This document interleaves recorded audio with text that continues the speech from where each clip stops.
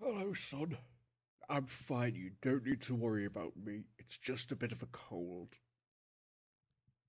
I've got another appointment next week. Just keep tabs on the medication.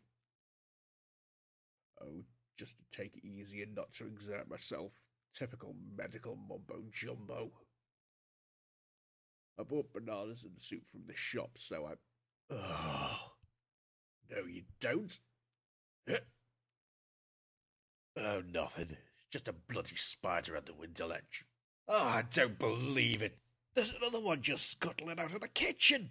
I'm telling you, it's like the ugly bug's ball in here. Well, not in my bloody house. Oh, behave yourself, John. It's only a spider. It'll take more than that to finish me off.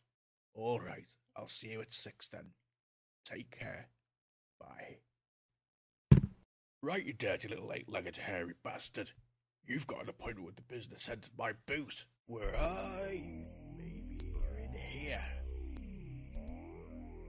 Come out, come out, wherever you are.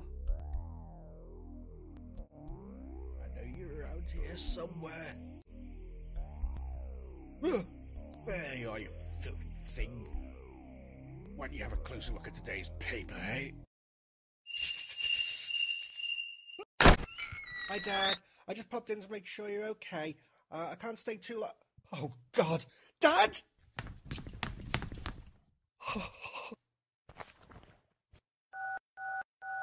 Hello? Quick, send an ambulance. It's my dad. Dad.